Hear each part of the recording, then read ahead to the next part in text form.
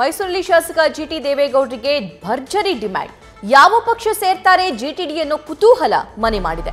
ಈ ಹಿಂದೆ ಕಾಂಗ್ರೆಸ್ನತ್ತ ಇತ್ತು ಜಿಟಿ ದೇವೇಗೌಡರವಲು. ಆದ್ರೆ ಈಗ ಬಿಜೆಪಿ ಸೇರ್ತಾರಾ ಜಿಟಿಡಿ ಅನ್ನೋ ಪ್ರಶ್ನೆ ಕೂಡ ಉದ್ಭವಿಸಿದೆ. ಇದ್ದಕ್ಕಿದ್ದಂತೆ ಜಿಟಿಡಿ, ಬಿಜೆಪಿ ಸೇರುವ ಬಗ್ಗೆ ಚರ್ಚೆ ಕೂಡ ಶುರುವಾಗಿದೆ.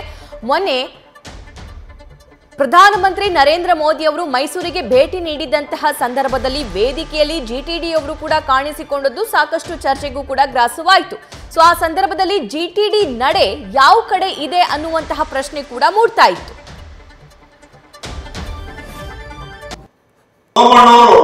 ಎಲ್ಲ ವಿಚಾರ ಪ್ರತಾಪ್ ಎಲ್ಲವನ್ನು ಆಳವಾಗಿ ಸಂಪೂರ್ಣ ಏನೇನ್ ಮಾಡಿದ್ದೀರಿ, ಏನೇನ್ ಆಗಿದೆ ಅನ್ನೋದನ್ನು ಕೂಡ ನರೇಂದ್ರ ಮೋದಿ ಅವರು ಏನ್ ಮಾಡಿದ್ದಾರೆ? ಬಸವರಾಜ ಬೊಮ್ಮಾಯಿ ಅವರು ಏನ್ ಮಾಡಿದ್ದಾರೆ? ಸೋಮಣ್ಣವರು ಅದನ್ನೆಲ್ಲ ಮೀರಿ ಏನ್ ಮಾಡ್ಕೊಟ್ಟಿದ್ದಾರೆ ಅಂತ ಕೂಡ ಹೇಳಿದ್ದಾರೆ. ನಾನಾದ್ರೂ ಕೂಡ ಇಷ್ಟೇ ಹೇಳ್ತಕ್ಕಂಥದ್ದು, ಸೋಮಣ್ಣವರು ಬಹಳ ವರ್ಷದಿಂದ ನಮ್ಗವ್ರಿಗೆ ಎಂಬತ್ ಮೂರರಿಂದ ಇದ್ರೂ ಕೂಡ ನಾನು ಅಲ್ಲಿ ಹೌಸಿಂಗ್ ಬೋರ್ಡ್ ಅಧ್ಯಕ್ಷ ಆಗಿ ಅವರು ಹೌಸಿಂಗ್ ಸಚಿವರಾಗಿದ್ದಾಗ ಇಡೀ ರಾಜ್ಯದಲ್ಲಿ ಎಕನಾಮಿಕ್ ವೀಕರ್ ಸೆಕ್ಷನ್ಗೆ ಫಿಫ್ಟಿ ಪರ್ಸೆಂಟ್ ಕೊಟ್ಟಿದ್ದು ಪ್ರಥಮ ಬಾರಿಗೆ. ರಾಜ್ಯದಲ್ಲಿ ಗೃಹಮಂಡಿಯಲ್ಲಿ S C S ಸಿಗಳಿಗೆ twenty two point one zero ತಂದಿದ್ದು ಹಿಂದೆ ರಿಸರ್ವ್ ಇರಲಿಲ್ಲ ಎಸ್ ಸಿ ಎಸ್ ಟಿಗಳಿಗೆ ತಂದಿದ್ದು ಇವ್ರ ಕಾಲದಲ್ಲೇ. ಇವತ್ತು ಸೋಮಣ್ಣ ಅವರಿಗೆ ಅವತ್ತು ಹೇಳಿದೆ ನಾನು. ಮೊನ್ನೆ ಪ್ರೆಸ್ ಅಲ್ಲಿ ಹೇಳಿದೆ. ರಾಮಕೃಷ್ಣ ಹೆಗಡೆ ಮುಖ್ಯಮಂತ್ರಿ ಆಗಿದ್ರು. ನಜೀರ್ ಸಾಹೇಬರು ಗ್ರಾಮೀಣಾಭಿವೃದ್ಧಿ ಸಚಿವರು ಒಂದು ಮಾತು ಹೇಳಿದ್ರು. ಎಲ್ಲ ನೀರು ಕೊಟ್ಟೆ, ಸೂರು ಕೊಡಲಿಲ್ಲ ಅಂತ ಸಾಯೋದ ಅರ್ಧ ಗಂಟೆ ಅಂತ ಹೇಳಿದ್ರು. ರೈತರ ಏಳಿಗೆಗಾಗಿ ಐದು ನೂರು ಜನ ಸಾಧಕರ ರೈತರು ನಿಮಗೆ ಸಾಧನೆಯ ಪಾಠ ಮಾಡ್ತಾರೆ. ಫ್ರೀಡಮ್ ಆಪ್ ಅನ್ನ ಈಗಲೇ ಡೌನ್ಲೋಡ್ ಆದ್ರೆ ಸೋಮಣ್ಣವ್ರಂತ ಅವಕಾಶವನ್ನ ಇವತ್ತು ಅವ್ರು ನೆನ್ಸ್ಕೊಳ್ತಾ ಇದ್ದೀನಿ ಅವತ್ತಿಂದ ತಲೆ ಒಳಗಡೆ. ಅದಿನ್ಯಾರ ಕೈಲೂ ಮಾಡಕ್ಕಾಗಿಲ್ಲ, ಎಷ್ಟೋ ಜನ ವಸತಿ ಸಚಿವರಾಗಿದ್ದಾರೆ. ಕೃಷ್ಣಪ್ಪ ಆಗಿದ್ರು, ಅಂಬರೀಷ್ ಆಗಿದ್ರು ನಮ್ಮ ಬೇರೆ ಕೂಡ ಆಗಿದ್ರು, ಎಷ್ಟೋ ಜನ. ಆದ್ರೆ ಸೋಮಣ್ಣವ್ರು ಬಂದು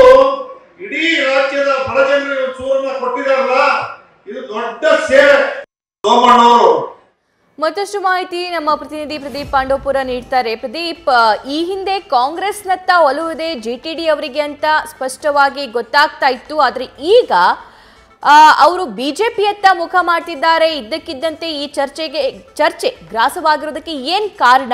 ಏನಾಗ್ತಾ ಇದೆ? ಜೆ ಟಿ ಡಿ ಅವರ ಒಲವು ಬಿಜೆಪಿಯತ್ತ ಇದ್ದಕ್ಕಿದ್ದಂತೆ ಯಾಕೆ ಬಂತು? ರವಿ.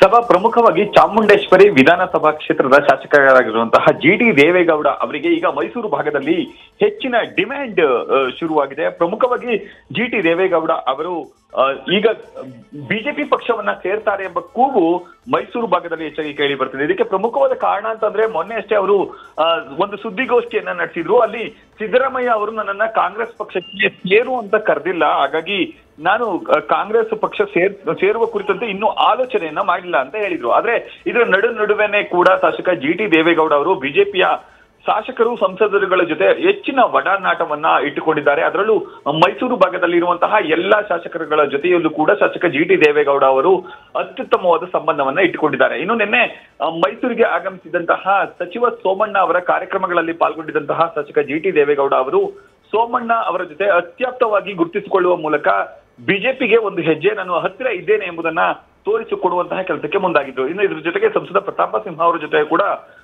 ಶಾಸಕ ಜಿ ಟಿ ದೇವೇಗೌಡ ಅವರು ಸಾಕಷ್ಟು ಒಡನಾಟವನ್ನ ಇಟ್ಟುಕೊಂಡಿದ್ದಾರೆ. ಇನ್ನು ಕಳೆದ, ಕೆಲ ದಿನಗಳ ಹಿಂದಷ್ಟೇ ಮೈಸೂರಿಗೆ ಆಗಮಿಸಿದಂತಹ ಪ್ರಧಾನಿ ನರೇಂದ್ರ ಮೋದಿ ಅವರ ಕಾರ್ಯಕ್ರಮಕ್ಕೂ ಕೂಡ ಜಿ ಟಿ ದೇವೇಗೌಡ ಅವರು ಆಗಮಿಸಿದ್ರು. ಆ ಸಂದರ್ಭದಲ್ಲಿ ಮೋದಿ ಅವರನ್ನ ಭೇಟಿ ಮಾಡಿ ಒಂದಷ್ಟು ಚಾಮುಂಡೇಶ್ವರಿ ಕ್ಷೇತ್ರದ ಅಭಿವೃದ್ಧಿ ಕಾರ್ಯಗಳ ಬಗ್ಗೆ ಪತ್ರವನ್ನು ಕೂಡ ನೀಡಿದ್ರು. ಆ ಸಂದರ್ಭದಲ್ಲಿ ಒಂದಷ್ಟು ವೇದಿಕೆಯಲ್ಲಿ ಕಾಣಿಸಿಕೊಂಡು ಬಿಜೆಪಿಗೆ ಸೇರ್ತಾರೆ ಎಂಬ ಅಂಶಗಳು ದಟ್ಟವಾಗಿ ಗೋಚರಿಸ್ತಿತ್ತು. ಇದರ ನಡುವೆ ಮೊನ್ನೆ ನೀಡಿದಂತಹ ಒಂದು ಹೇಳಿಕೆಗೂ ಹಾಗೂ ನಿನ್ನೆ ಅವರ, ಅವರು ಬಿಜೆಪಿ ನಾಯಕರುಗಳ ಜೊತೆ ಒಗ್ಗೂಡಿರುವಂತಹ ಕಾರ್ಯಚಟುವಟಿಕೆಗಳ ಎರಡಕ್ಕೂ ಕೂಡ ತಾಳೆ ಹಾಕಿ ನೋಡಿದಾಗ ಶಾಸಕ ಜಿ ಟಿ ದೇವೇಗೌಡ ಅವರು ಬಿಜೆಪಿ ಸೇರುವುದು ಸನಿಹ ಆಗ್ತಿದೆ. ಆದ್ರೆ ಅವರು ಅವರ ಪುತ್ರನ ಒಂದು ಕ್ಷೇತ್ರಕ್ಕಾಗಿ ಹುಡುಕಾಟವನ್ನ ನಡೆಸಿದ್ದಾರೆ ಅವರ ಪುತ್ರನಿಗೆ ಯಾವ್ದಾದ್ರು ಕ್ಷೇತ್ರ ಸಿಕ್ಕರೆ ಖಂಡಿತ ಅವರು ಬಿಜೆಪಿ ಸೇರ್ತಾರೆ ಎಂಬ ಮಾತುಗಳು ಈಗ ಮೈಸೂರು ಭಾಗದಲ್ಲಿ ದಟ್ಟವಾಗಿ ಕೇಳಿ ಬರ್ತಿದೆ ಸಭಾ.